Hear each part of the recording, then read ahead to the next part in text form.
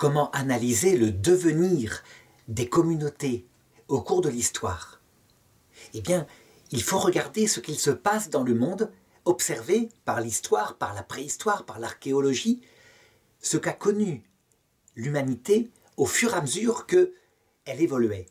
Et on peut dire à partir de là qu'il y a deux choses qui influencent l'évolution des communautés. D'abord, le nombre, le nombre de personnes. C'est quelque chose de fondamental. Au bout d'un certain temps, la quantité devient une qualité. Et quand on devient trop nombreux, on ne peut plus se contenter de chasse et de cueillette. On doit absolument inventer l'agriculture et l'élevage. Et puis, l'autre critère, c'est l'état des connaissances. Ça veut dire que au cours de l'histoire, on constate partout dans le monde, en gros, trois, trois états, trois révolutions.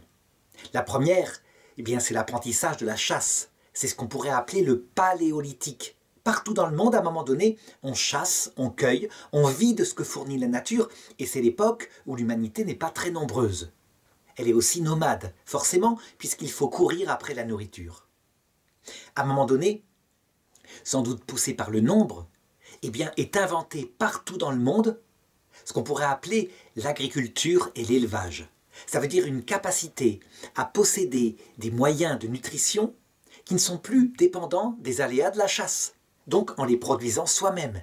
Et ça, c'est une révolution, une révolution technologique qui est terriblement importante, qui est aussi difficile. Ça veut dire que, comme elle ne se passe pas toujours bien, il y a des phases de grande misère que connaît l'humanité au début de ce qu'on appelle le néolithique, donc l'âge des chasseurs-cueilleurs.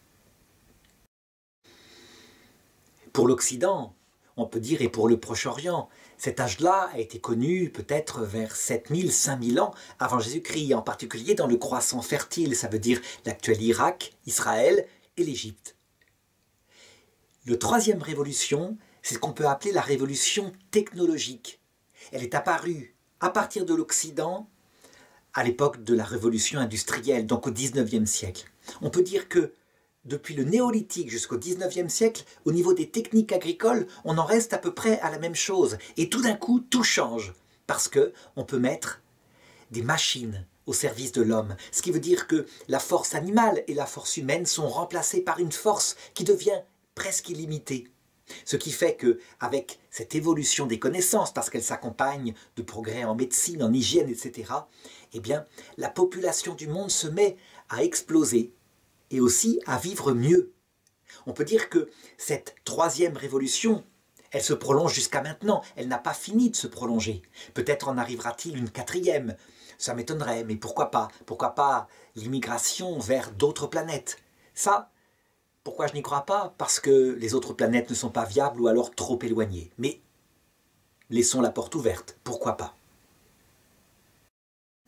En tout cas, je voudrais maintenant étudier après avoir vu le fondement de tout, qui est tout de même la famille, un fondement biologique et moral, eh bien, étudier ce devenir des communautés jusqu'à ce qu'on peut imaginer qui viendra un jour, à savoir la communauté mondiale.